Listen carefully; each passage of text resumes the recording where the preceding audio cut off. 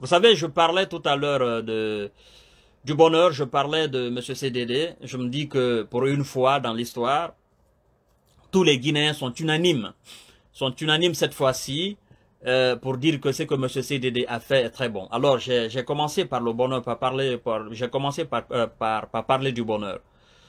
Vous savez, comme disait notre cher regretté M. Ahmed Sekou, il disait que le bonheur est une conception de capacité de satisfaction des besoins. Il dit, le bonheur est sans fin parce que les besoins sont sans fin. Si nous pouvons limiter les besoins physiologiques, les besoins culturels sont sans fin. Car l'esprit inventera toujours une nouvelle forme de l'éthique et, poussera, poussera l'homme à sa réalisation. C'est ça le bonheur. Alors, je me disais que aujourd'hui, tous les Guinéens, qu'on soit enfant, qu'on soit adulte, qu'on soit adolescent, qu'on soit vieux ou vieille, tous les Guinéens aspirent au bonheur. Tous les Guinéens aspirent à la paix.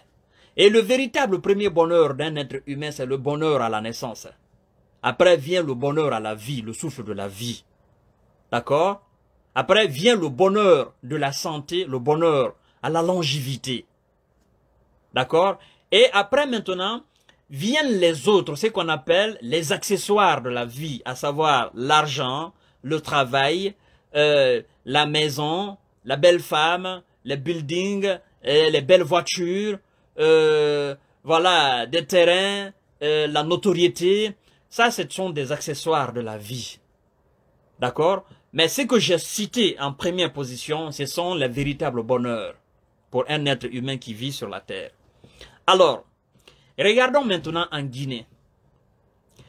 Le bonheur à la vie, le bonheur à la naissance est un bonheur qui est bafouillé de long en large. Ce bonheur est bafouillé. Le bonheur à la vie, le souffle de la vie, ce bonheur est bafouillé par un régime politique, le régime dictatorial, le régime de M. Alpha Condé. Le bonheur à la vie. Parce qu'en Guinée, on tue les gens pour des causes qui n'en valent pas la peine. On tue des gens en Guinée comme si c'était des poussins. On tue des gens en Guinée comme si c'était de la bétail. Ce bonheur à la vie est un bonheur qui est bafouillé, est un bonheur qui est piétiné. On kidnappe les gens, on emprisonne les gens en Guinée. On prive les gens de leur liberté de se mouvoir. Tout cela fait partie du bonheur à la vie. Parce que quand on vit, il y a des accessoires de la vie. La mouvance, la liberté d'expression, la liberté de critiquer ses gouvernants, d'accord, euh, apporter des solutions, d'accord, euh, être là dans le débat politique, ne pas être exclu de la du débat politique, ça ce sont les accessoires du bonheur à la vie. Chez nous, on a tellement effrayé la population que les gens n'ont les gens n'ont plus le courage de dire aux dirigeants que ce que vous faites c'est pas bien. On a tellement effrayé les gens, on a tellement sémé la peur dans le cœur des gens qu'en Guinée, tout le monde est devenu muet. Même les journalistes sont devenus muets. Les pères de famille sont devenus muets. Les mères de famille, ainsi de suite.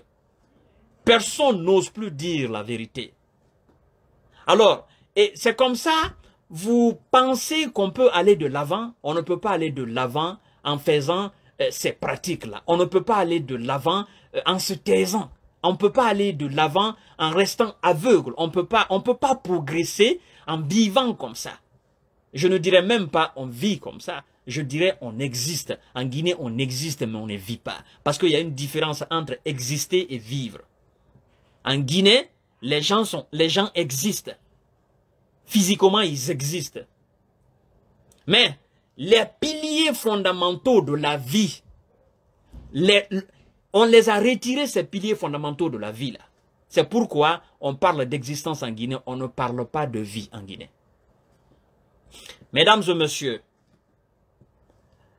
vous savez, comme moi tout dernièrement, le gouvernement de M. Alpha Condé avait insinué une augmentation euh, du prix du carburant à la pompe. Parce que tout simplement, le monsieur estime que il a le droit de faire ce qu'il veut des Guinéens. Il estime que il est le Dieu des Guinéens. Il estime que il est euh, le pharaon de la Guinée. Il estime que il est l'homme le plus intelligent de la Guinée. Et il estime que ceux qui sont avec lui sont les hommes les plus intelligents de la Guinée, sont les hommes les plus intègres, sont les hommes les plus patriotiques de la Guinée. C'est son estimation à lui, c'est sa vérité à lui. Mais sa vérité là est différente de la nôtre. Nous nous estimons que ceux qui sont avec lui, y compris lui, ils n'ont absolument rien compris dans le processus du développement d'un pays. Ils sont juste là par accident. Et ceux qui les ont mis là sont aujourd'hui dans le regret. Écoutez, après avoir perturbé le sommeil des Guinéens avec cette augmentation du prix des carburants à la pompe, il y a un prophète, si je peux me permettre, d'accord? Même s'il n'a pas le titre euh, de prophétie, mais pour moi c'est un prophète. Il y a un prophète qui est sorti de l'ombre. Depuis longtemps il est là. On ne le veut pas, on le déteste, on l'aime pas. Et nous savons tous que et tout, ou du moins la plupart des prophètes que Dieu a envoyés à leur peuple, la plupart pour un ont été détestés, la plupart ont été, ont été chassés, la plupart ont été... Euh, euh, les gens se sont farouchement opposés à la plupart. Alors, il y a un Dieu qui est sorti de nulle part, si je peux me permettre. Ok? Un prophète, il est venu. Parce que quand je dis souvent que s'il existait une main de Dieu pour tous les peuples du monde, la main, la main de Dieu, la main humaine de Dieu pour la Guinée, ce serait ce monsieur-là. Je réserve encore ce nom pour la fin du live. Ce prophète, il est venu devant son peuple, son peuple marginalisé. Ce prophète, il est devenu, il est venu devant, il s'est tenu devant son peuple le peuple dont le cœur saigne. Ce prophète, il est sorti du comment? Il est sorti du comment, de ce que nous nous appelons comment? C'est que vous et moi, Mamadou Diallo, Monsieur Kamara, vous et moi, nous, connaissons du commun, nous avons du commun. Ce prophète, il est sorti de ce commun-là. Donc, il est hors, hors commun. Hors commun. Quand on dit hors commun, c'est-à-dire tout ce que le commun des mortels connaît, lui, il a une connaissance au-delà de cela. Alors ce prophète, il est venu devant les gens. Il dit, écoutez, on ne peut pas s'amuser à l'intelligence collective des Guinéens. Même si moi, prophète, d'accord, j'ai une connaissance beaucoup plus large par rapport à la connaissance collective des Guinéens, d'accord, je vais essayer d'apporter, je vais essayer d'éclairer, je vais essayer d'apporter la lumière à ce peuple-là, qui souffre, mais qui ne m'accepte pas, qui ne veut pas de moi. Moi, je veux de ce peuple. Moi, je veux le bonheur de ce peuple. Même si ce peuple-là ne m'aime pas, mais moi, j'aime ce peuple. Même si ce peuple-là ne sait pas qui je suis et qui il veut, moi, je sais qui je suis et je sais ce que le peuple-là veut. Même si ce peuple-là me déteste. Moi, je ne vais pas dans le sens de ce peuple. Je vais apporter la lumière à ce peuple. Ce prophète, il s'est tenu devant les gens. Il a fait une démonstration prophétique. Il a fait montre, ce qu'on appelle, il a fait montre de, c'est-à-dire d'intelligence. Il a fait montre de capacité, de capacité intellectuelle. D'accord? Il a montré aux gens que vous, avez tort de me haïr. Vous avez tort de me combattre. Vous avez tort de me détester. Vous avez tort de, de, de, de parler du mal de moi. Écoutez très bien ce que je vais vous dire. Parce que après moi, personne d'autre ne viendra avec des preuves à l'appui pour vous expliquer ce que moi je m'apprête maintenant à vous expliquer. Après moi, il n'y aura personne. Tous ceux qui viendront, ils viendront avec des discours politiques. Mais des discours technocrates, les, discours d'un technocrate, hein, d'un technocrate qui parle avec des preuves, avec une aisance extraordinaire que le plus petit des Guinéens comprendra, il n'y aura pas. vous avez des gens qui s'arrêtent, qui tiennent des propos, des discours politiques. Moi, je ne suis pas dans ce discours politique. Je sais le faire, ce discours politique. Mais aujourd'hui, je vais sortir mon âme technocrate pour vous parler d'une situation claire et pour vous apporter la lumière. C'est pourquoi je vous dis que ce monsieur est une école. On doit apprendre. Et on sait que l'école, c'est une lampe qui vivifie et éclaircit le chemin de toute vie humaine. Ce monsieur est une école. Nous devons apprendre de lui. Ce prophète-là, ce messie-là, c'est une école. On doit, tous les Guinéens doivent entrer dans cette école messianique pour apprendre la vérité, apprendre la sincérité, apprendre l'honnêteté, apprendre l'intégrité, apprendre ce qu'on appelle la notion du patriotisme, apprendre ce qu'on appelle l'adaptation, euh, je ne sais même plus quoi dire à propos de ce monsieur-là, mesdames et messieurs. Partagez au maximum le live, s'il vous plaît. Il est venu, il a dit, vous parlez de quelque chose que moi je connais mieux que vous. Dans le discours, d'accord? Dans la démonstration de force de ce prophète. Il a montré aux gens, aux soi-disant gouvernants qui sont là, là, à la tête de l'État. Il les a dit, écoutez, vous, vous parlez de quelque chose que moi je connais mieux que vous. Parce que je suis ceux qui ont fait cette mise en place. Je vais vous démontrer par A plus B que ce que vous êtes en train de faire, vous êtes ignorant la matière. Laissez-moi enseigner à mon peuple. Laissez-moi dire la vérité à mon peuple. Laissez-moi vous apporter des solutions. Laissez-moi vous guider. Malgré que je suis, hein, malgré que je sois du moins euh, votre adversaire, d'accord? Mais laissez-moi au moins vous aider, c'est gratuit, c'est gratos.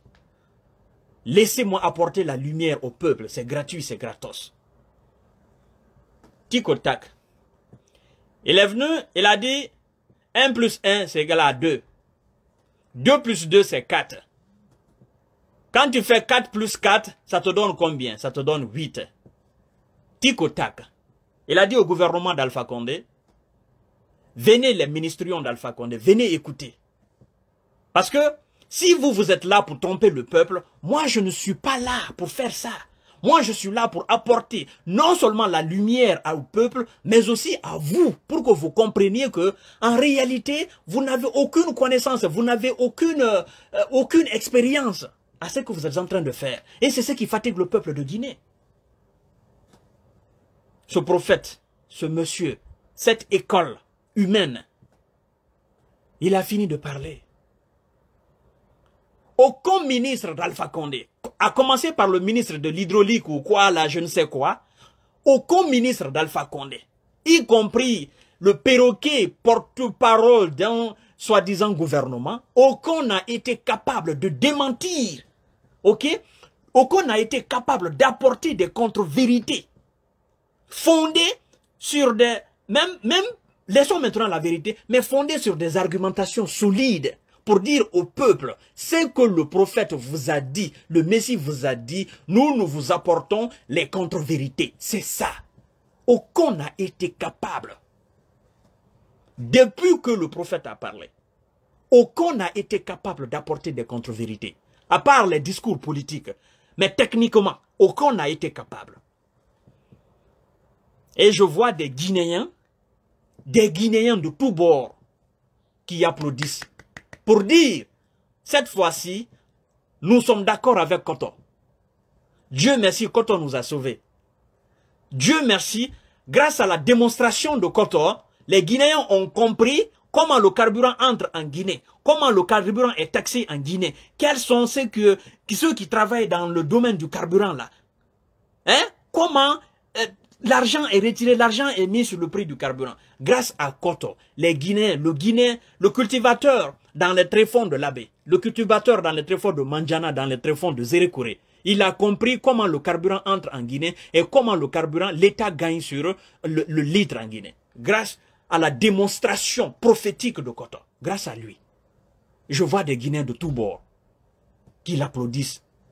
C'est pourquoi je vous dis, pour une fois, toute la Guinée, tous les fils de la Guinée sont unanimes avec ce monsieur.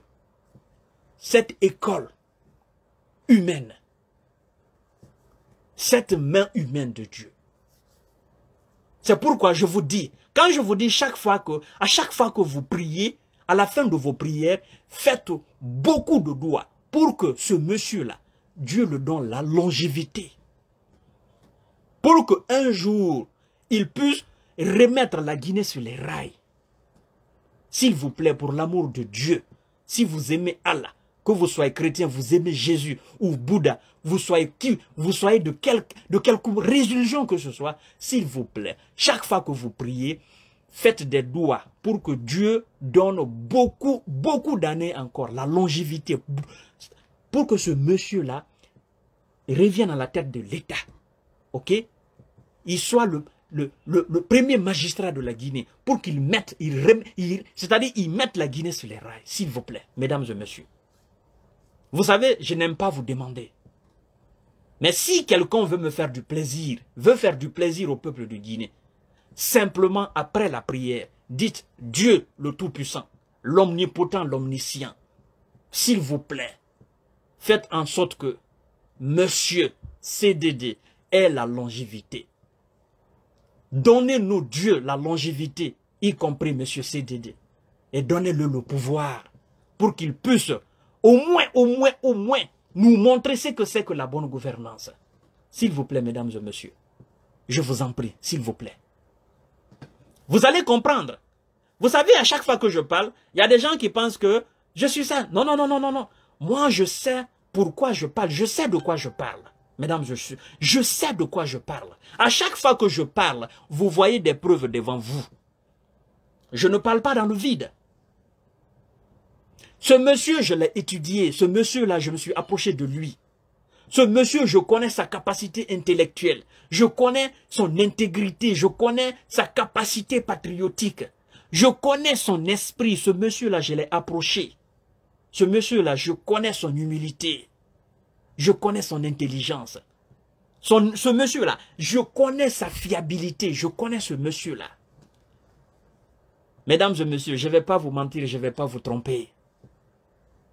Je ne vais pas vous mentir, je ne vais pas vous tromper. Je ne le ferai jamais. Je vous jure sur l'honneur, je ne le ferai pas. Je vais toujours vous dire la vérité. Il y a un monsieur qui m'appelle. Un monsieur qui m'appelle. Mais vraiment un monsieur qui m'appelle. Il me dit, monsieur Kanté, écoutez, j'ai jamais aimé CDD. Je l'ai jamais aimé. Et je vais jamais l'aimer. Mais il a fait une démonstration, sincèrement. Il faut que je sois honnête avec moi-même. Sincère avec moi-même. Il a fait une démonstration que moi-même je ne connaissais pas. Et depuis ce jour, il n'y a aucun membre du pouvoir qui nous a apporté quelque chose de contraire, contredisant les propos de M. CDD à propos de l'augmentation des carburants. Je dis donc, vous admettez que M. CDD a dit la vérité. Il dit oui. Je dis donc, vous êtes d'accord avec moi que s'il n'était pas expérimenté, il n'était pas cultivé en la matière, il n'aurait pas pu le faire. Il dit oui. Je dis donc, vous savez aujourd'hui que M. CDD, il dit beaucoup de vérité en Guinée. Il démontre beaucoup de choses véridique en Guinée. Parce que vous avez accepté, vous admettez que ce qu'il a fait, c'est un travail d'homme expérimenté. Vous savez pourquoi vous avez accepté cela? Il dit non. Je dis parce que ça, ça vous touche directement. Quand on augmente le prix du carburant, vous allez sentir cela dans votre foyer. Mais vu que ce prophète, il est venu, il vous a démontré par A plus B Chose qui vous permet de mettre une pression sur M. Alpha Condé, menacer son pouvoir, vous l'appréciez maintenant, vous appréciez M. CDD. Il dit, ah, sincèrement, ça je ne sais pas, mais cette fois-ci je suis d'accord avec lui. Je dis, ok, il faut qu'il fasse combien de choses comme ça là pour que vous soyez d'accord avec lui. Il fait tellement de sacrifices, il se sacrifie tellement pour vous, Il faut qu'il fasse combien de choses comme ça. Il faut qu'il fasse combien de démonstrations comme ça pour vous convaincre. Il a fait, il a fait, il a fait, il continue de le faire. Mais il faut qu'il le fasse combien pour que vous soyez d'accord avec lui. Pour que vous sachiez que c'est l'homme qui peut diriger la Guinée avec fierté, que c'est l'homme qui peut tirer la Guinée de l'ornière de cette souffrance. Vous avez besoin de combien de démonstrations? Il dit, Monsieur Kanté, sincèrement, pour ne pas vous mentir, je n'aime pas l'homme. Je dis non. C'est ce qui vous trompe. Même moi qui vous parle, je n'aime pas l'homme. Je n'aime pas l'homme. Moi qui vous parle, moi Kanté qui vous parle, je n'aime pas CDD. Mais vous savez, ce qui m'intéresse de CDD, il dit non. Je dis, ah là, c'est là vous vous trompez. Vous, vous parlez d'amour envers un politicien. Ça ne doit pas exister. Cet amour que vous parlez là, ça ne doit pas exister. Je dis, ce que vous devez accepter, c'est le contenu de la boîte crânienne de CDD qui doit vous intéresser. Vous devez vous baser sur le contenu de la boîte crânienne de CDD pour l'accepter.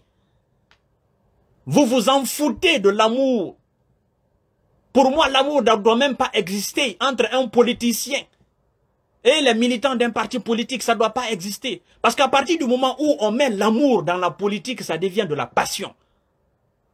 Et chaque jugement que vous ferez, ça sera un jugement passionnel. Et le jugement qui est basé sur la passion, la passion altère notre jugement. Vous devez juger un politicien avec la raison, la rationalité. C'est l'utilité du, contenu de la boîte crânienne du politicien qui doit vous intéresser.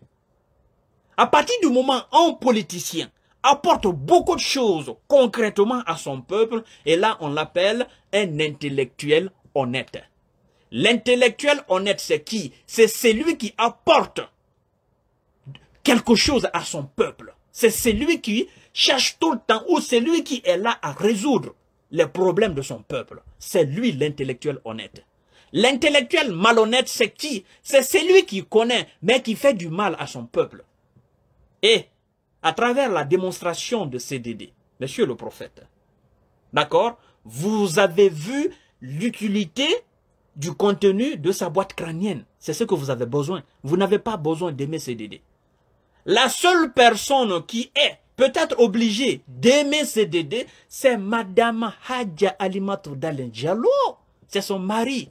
Elle doit aimer son mari.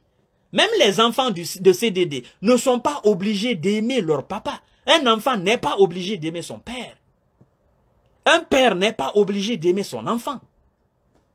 Non. Mais par contre, un père est obligé d'accomplir ses devoirs de papa envers son enfant. Un enfant est obligé d'obéir à ses parents. Un enfant n'est pas obligé d'aimer ses parents. Le père aussi n'est pas obligé d'aimer ses enfants. Mais le père est obligé d'accomplir ses droits, ses devoirs du moins, en tant que père. Donc, la personne, l'unique personne qui est censée aimer M. CDD, c'est Mme Halimatou Dalen Nous autres, on n'a pas besoin de créer d'amour entre CDD et nous. Alors, jeunes de la mouvance, jeunes de, je ne sais où, vous qui détestez ce monsieur-là, écoutez, ne cherchez pas d'amour entre vous et lui. Vous avez justement besoin du contenu de sa boîte crânienne.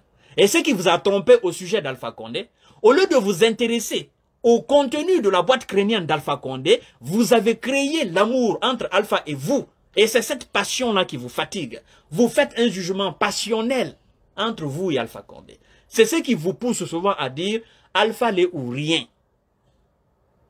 C'est ça. C'est-à-dire, vous vous êtes mis dans une sorte d'inconscience du fatalisme en vous-même. Et c'est ce qui est dangereux pour vous. Mesdames et messieurs. Alors, vous savez, l'hypocrisie a atteint un niveau très haut en Guinée. C'est ce qui nous fatigue. Monsieur Tibou Kamara est sorti, il a parlé. Mais c'est que Tibou oublie, il oublie que les discours politiques, ça passe plus en Guinée. Parce que les discours politiques ne sont pas fondés. Ça passe plus. Les Guinéens ont tellement avalé les discours politiques qu'ils en ont marre d'avaler. Les Guinéens ont besoin de tic au tac maintenant. Tac, tac, tac, tac, tac. On voit. Et c'est ce que monsieur le prophète, cette école humaine, main de Dieu pour la Guinée, nous a fait, hein, il nous a montré, il nous a démontré. Et qu'est-ce qui se passe maintenant? C'est là le mystère. C'est là maintenant l'affaire devient intéressante. Vous savez, monsieur le prophète a fini la démonstration. Mais quelles sont les conséquences de la démonstration que monsieur le prophète nous a fait? Il a mis Alpha Condé et son gouvernement euh, dans une situation où ils sont dans un dilemme de choix. Tous les deux choix ont des conséquences. Est-ce qu'il faut fermer les yeux, augmenter le prix du carburant, qui va peut-être créer des émeutes en Guinée, qui va peut-être créer des mouvements, qui va peut-être créer la colère du peuple contre le régime, et assumer avec, comme ils ont l'habitude de faire, les gens vont manifester en disant que la situation est difficile, et ils vont sortir les militaires pour tirer sur les gens, effrayer les gens encore, et continuer de puiser dans la poche des pauvres gens. Ça, c'est un premier choix.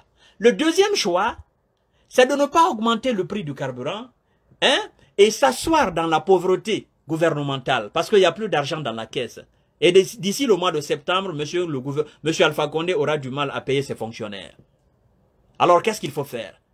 Ils sont en train maintenant de calculer. Seloudalé a fini la démonstration. Le peuple est informé.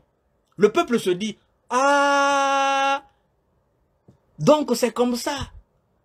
Et à partir du moment où le peuple dit, ah, donc c'est comme ça, ça veut dire que le peuple a déjà compris le, problème.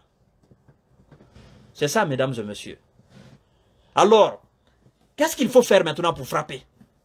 Parce qu'ils veulent quand même augmenter le prix. Ils veulent le faire. Mais qu'est-ce qu'il faut faire?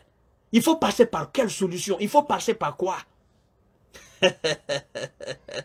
Ah, je vous ai dit, si A connaît pas A demander, le cauchemar du pouvoir, le cauchemar d'Alpha Condé, c'est CDD, monsieur le prophète. Cette école humaine, c'est le cauchemar d'Alpha. Alpha ne sait plus quoi faire de CDD. Il ne sait plus quoi faire. Le gouvernement de, Conakry, le régime de Sécoutoria ne sait plus quoi faire. Il n'y a pas longtemps, un monsieur m'appelle, il me dit, monsieur Kanté, je vous jure sur la vérité. je vous jure sur l'honneur. Écoutez, monsieur Kanté. Vous faites du mal à ce gouvernement. En écoutant un proche collaborateur du régime, c'est-à-dire du despote d'Alpha, je vous jure, ils sont prêts aujourd'hui à tout faire pour vous faire taire. Je dis non, ils ne pourront pas. Parce que nous, nous sommes dans un combat pour le peuple de Guinée. Nous sommes dans un combat noble. Ils peuvent peut-être passer par des moyens, d'accord? Les moyens euh, les plus grands pour me faire taire. Mais mon verbe continuera toujours dans la bouche de quelqu'un d'autre. C'est pourquoi je vous ai dit, il y a tellement de CDD en Guinée qu'on ne peut pas, on peut même pas finir de compter. Alors, mesdames et messieurs, vous voyez l'hypocrisie des Guinéens? On est d'accord avec le monsieur. Nous sommes tous d'accord. Tous les Guinéens sont d'accord avec lui. C'est quand ça va dans notre sens, dans notre intérêt.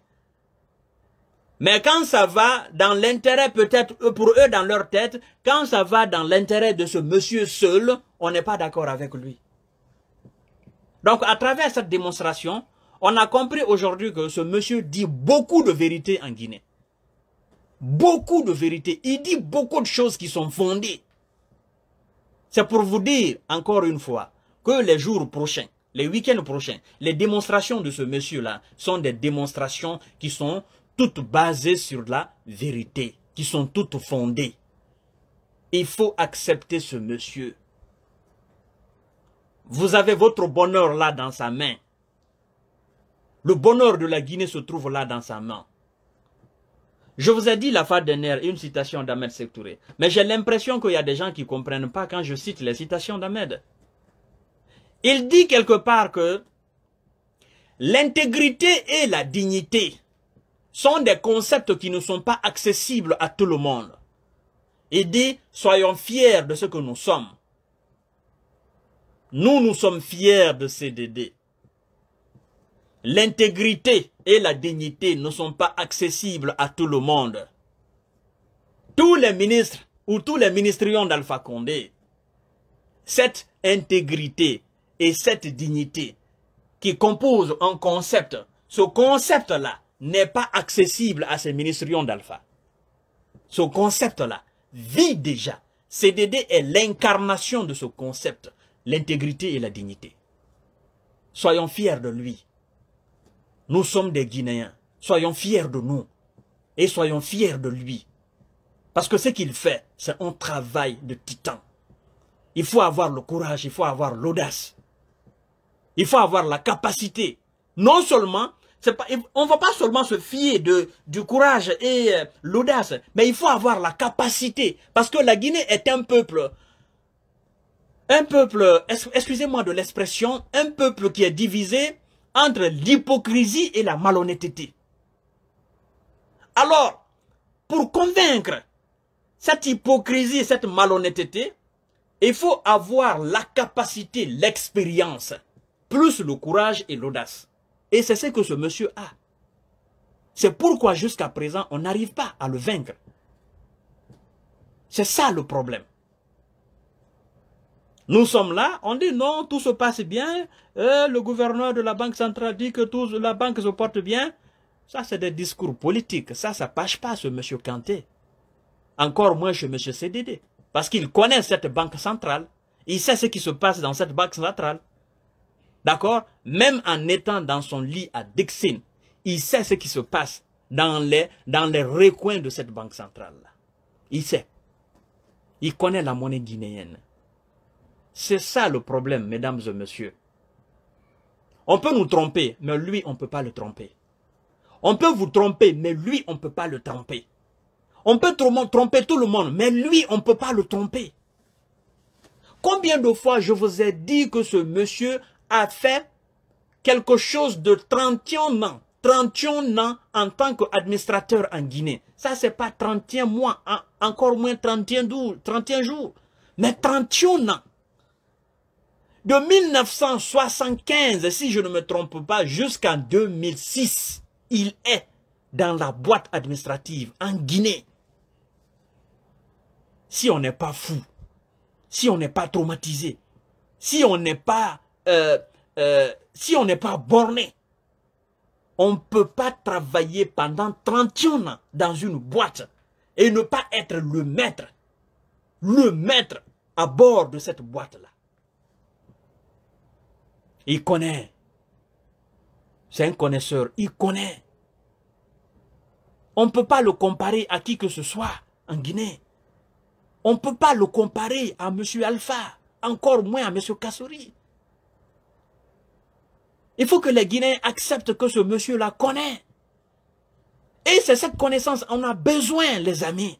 Combien de fois vous voulez que je vous répète la même chose? Combien de fois vous voulez que je vienne ici pour vous faire des débats, pour vous parler de ce monsieur? Combien de fois? Lui-même, matin, midi, soir, il fait des trucs devant vous pour vous montrer qu'il connaît. Pour vous montrer que ceux qui ont confiance en lui, que leur confiance ne sera pas trahie. Combien de fois? Combien de fois? Il me l'a dit, monsieur Kanté.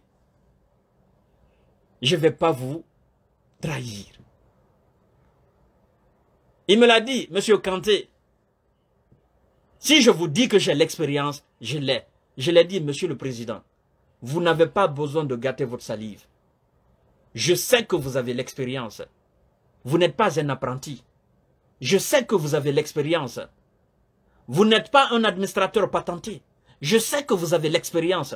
Vous n'êtes pas un aveugle. Je sais que vous, êtes vous avez, vous avez l'expérience. Et j'ai confiance à votre expérience, votre capacité à réagir et à trouver des solutions. Je dis, monsieur le président, la crédibilité que vous avez me suffit moi.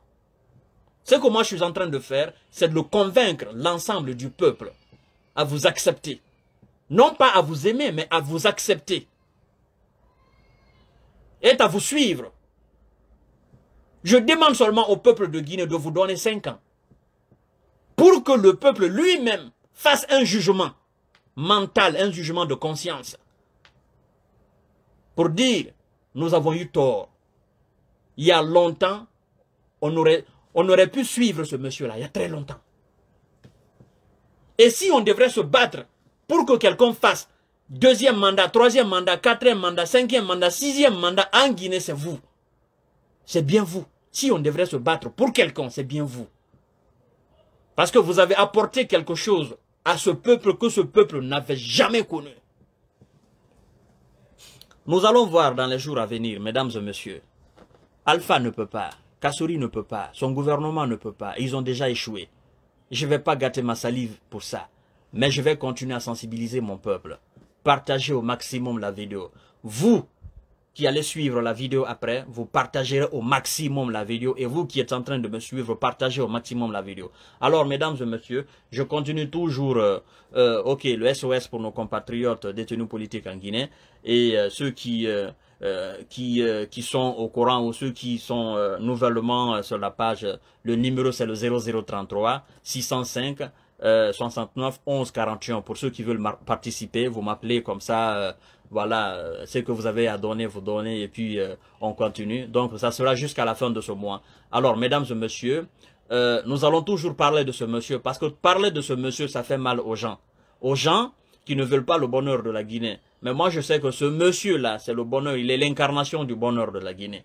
D'accord? Il a la capacité de satisfaire les besoins des Guinéens. Parce que nous avons, tout à l'heure dit, au début de la vidéo, que le bonheur, c'est une question de capacité de satisfaction des besoins. Et ce monsieur-là, il a la capacité de répondre aux attentes des Guinéens. Il a la capacité de répondre aux besoins des Guinéens.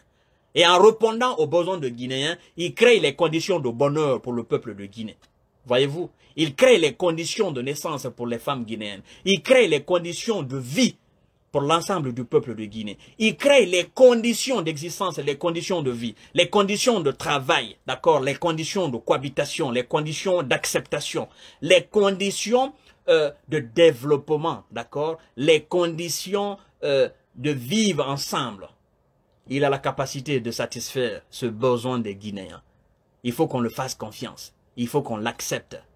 Mais c'est pas facile il faut continuer. Et nous allons continuer, Inch'Allah, si Dieu nous donne la longue vie. Et Dieu va nous donner la longue vie. Dieu va donner la longue vie à ce monsieur qui sera, ok, l'homme de la situation. Son avenement est inévitable. On l'attend seulement. C'est inévitable. Sur ce, je vous dis bonsoir. Et euh, peut-être que le samedi, je ferai un live, je ferai une sortie aussi euh, pour parler de cette situation encore de la Guinée. Et euh, je dirais simplement qu'il faut rester euh, constant, qu'il faut continuer le combat, la dénonciation, euh, qu'il faut être capable aussi d'apporter des solutions comme M. CDD le fait, comme nous autres, nous faisons chaque fois que nous faisons des lives. Et il faut dire à la jeunesse guinéenne que tout n'est pas perdu. Et il faut dire à M. Alpha Condé que si tout est permis, ça ne veut pas dire que rien n'est défendu. Parce que dans le permis, il y a le défendu. Euh, il faut dire à la jeunesse guinéenne que de ne pas désespérer. Il faut que l'espoir nous fasse vivre. De ne pas désespérer. Parce que ce monsieur-là va venir et son avenir est inévitable. La jeunesse guinéenne ne désespère pas. Ne désespère pas. Tu verras et tu sauras. Tu comprendras. Ça va arriver. Inch'Allah. Donc sur ce, je vous laisse. Je vous aime. Big up à vous tous. Et euh, prenez soin de vous. Faites du bien, c'est très important. Aimez vos prochains, c'est très important. Acceptez vos prochains, c'est très important. Aimez vos femmes, c'est très important. Aimez vos maris aussi, c'est très important. Euh, vivez dans la paix. Hein? Vivez dans la paix. Merci beaucoup, mesdames et messieurs. Et euh, à très bientôt, Inch'Allah. Bisous à vous.